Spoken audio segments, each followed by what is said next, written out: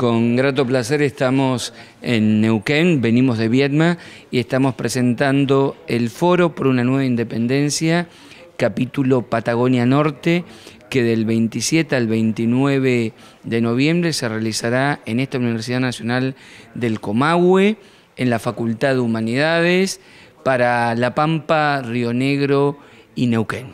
¿Cómo hace alguien para inscribirse en el foro? En la página oficial del Ministerio de Cultura Nación y en la página oficial de la Universidad Nacional de Comahue pueden entrar y anotarse libre y gratuitamente en alguna de estas cinco comisiones como ponente, son ponencias breves de siete minutos, o como participante. Ahora bien, por la tarde y por la noche sucederá lo siguiente, habrá mesas, paneles sobre pensamiento nacional, donde estará Maristela Vampa, Beatriz Gentile, el ministro Sileone, Ricardo Foster, luego una mesa sobre cultura y medios de comunicación, donde estará, por ejemplo, el doctor Ricardo Valle,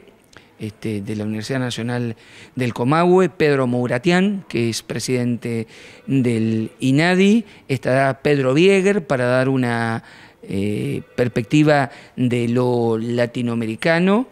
Y luego tendremos la actuación de Luisa Calcumil el mismo jueves en el aula magna y el programa en vivo, mitad en vivo y mitad grabado de Alejandro Dolina. Eh, la venganza será terrible. El viernes tendremos una mesa de las tradiciones políticas de las cuales se piensa y se pensó la Argentina, con la presencia del doctor Hipólito Solari Rigoye, Horacio Guilini y también eh, la presencia del diputado nacional Carlos Raimundi y del ministro Agustín Rossi. Una mesa luego sobre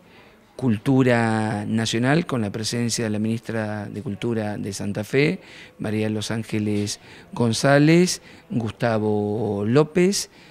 eh, el escritor Marcelo Figueras y Rubén Correa del este, en Teatro Nacional Cervantes y la mesa de soberanía energética con la presencia del ingeniero Víctor Brostein, de Enrique Martínez y el titular del INVAP, eh, Horacio Augusto Osuna. Y por el sábado eh, en, la jornada de cierre tendremos la lectura de las relatorías de las cinco comisiones para que todo el plenario sepa, se entere de qué es lo que se discutió y cómo se llegó a conclusiones donde habrá acuerdos, pero también